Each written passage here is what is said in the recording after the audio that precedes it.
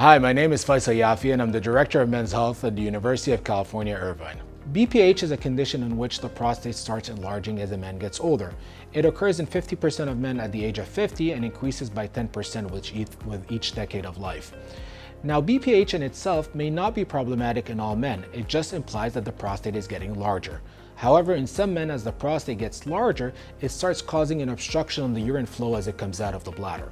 As that happens, the bladder, bladder starts straining more and more to be able to push the urine out. This may lead to some issues with the flow of the urine, which becomes slower. A man has to strain to urinate. A man has to stop and go when he's urinating and go frequently to the, to the bathroom. Over time, the bladder becomes fatigued from pushing against an obstruction, and a man may have some symptoms related to what we call an overactive bladder, which is urgency of urination, frequency, and waking up at night to urinate.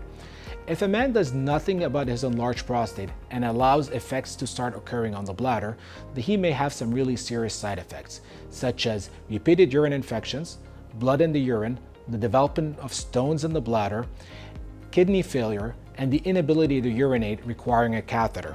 Over time, as the prostate gets bigger and the symptoms become more predominant, it is very important for a man to seek help from a urologist in order to be offered some of the older and some of the newer therapies that are available for BPH. Thank you for watching.